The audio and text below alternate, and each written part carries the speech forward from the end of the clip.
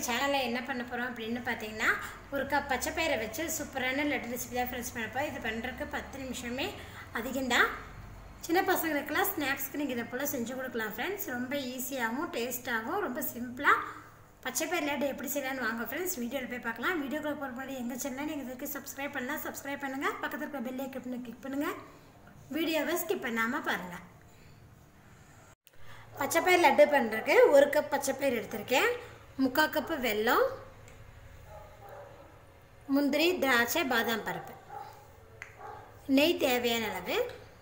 அடுப்பில் பாருங்கள் கடாயை வச்சுருக்கேன். கடாய் சூடாகிட்ருக்கு இப்போ ஃப்ளேம் வந்து மீடியம் வச்சிடலாம். வச்சுட்டு இதில் நம்ம எடுத்து வச்சுருக்கிற ஒரு கப்பு பச்சைப்பயிரில் ஆட் பண்ணிக்கலாம். மீடியம் ஃப்ளேம்லேயே வச்சு இதை வறுத்துக்கலாம்.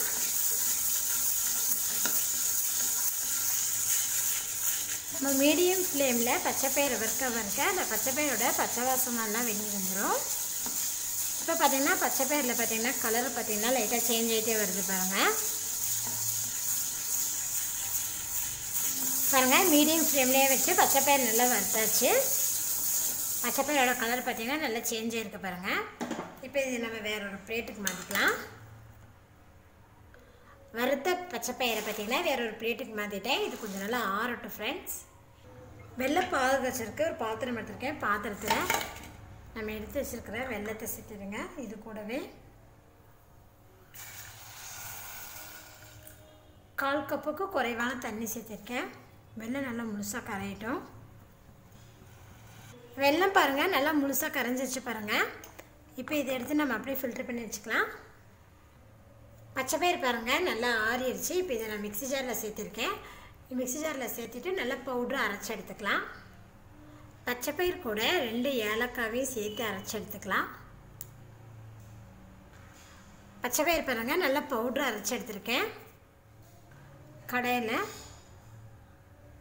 கால் கப் அளவுக்கு நெய் சேர்த்துக்கங்க. நெய் சூடானதுமே இதில் முந்திரி திராட்சை பாதாம் பருப்பு இது மூணையும் சேர்த்துட்டு லோ ஃப்ளேம்லேயே வச்சு இது வறுத்து எடுத்துக்கலாம் ஃப்ரெண்ட்ஸ்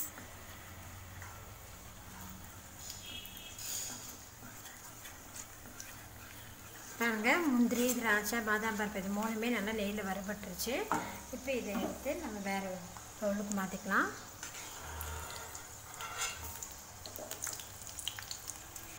அதே நெய்யில் நம்ம வறுத்து வச்சு பொடி பண்ணி வச்சுருக்கிறேன் பாசிப்பருப்பவே இதில் ஆட் பண்ணிக்கலாம் கடையில். ஆட் பண்ணிவிட்டு இதை லோ ஃப்ளேம்லேயே லெசாக வறுத்துக்கலாம். நெய்யோடு நல்லா இந்த பாசிப்பருப்பு பவுடர் நல்லா மிக்ஸ் ஆகிற மாதிரி நல்லா மிக்ஸ் பண்ணிக்கோங்க.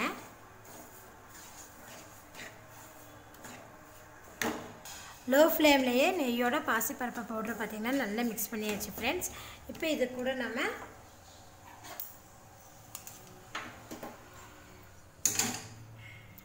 வெள்ளைப்பாகவே இதில் சேர்த்துருங்க.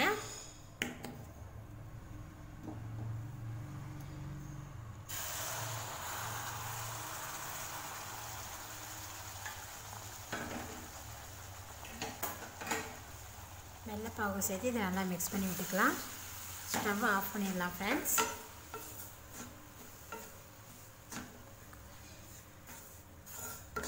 பார்த்தீங்கன்னா வெள்ளைப்பாகு சேர்த்து நான் நல்லா மிக்ஸ் பண்ணிவிட்டேன் இது கொஞ்சம் ஆறுனா தான் நம்மளுக்கு நல்லா கையில் உருண்டு பிடிக்க முடியும். இது கூடவே நம்ம நெய்யில் வறுத்து வச்சுருக்கிறேன்.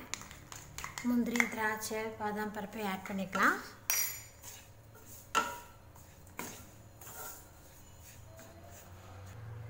பாருங்கள் கொஞ்சம் வெது வெதுப்பாக இருக்குது இப்போ இதை நம்ம லட்டு பிடிச்சிக்கலாம்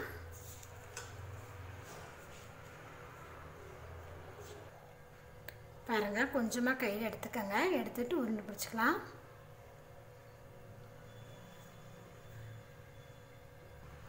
பாருங்கள் பச்சை பயிர் லட்டு எவ்வளோ சூப்பராக இருக்குன்னு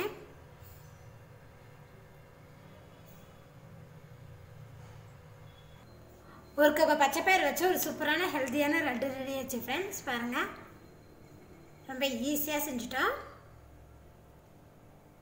இது நீங்கள் சின்ன பசங்களுக்கெல்லாம் ஸ்நாக்ஸுக்கு சூப்பராக செஞ்சு கொடுக்கலாம் ஃப்ரெண்ட்ஸ்